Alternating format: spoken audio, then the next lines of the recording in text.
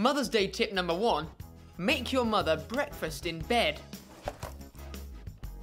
Mother's Day tip number two the greatest gift you can get your mother is yourself.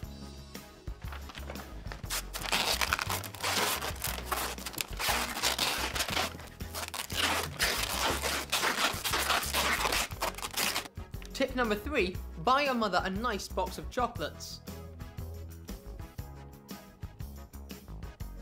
Happy Mother's Day!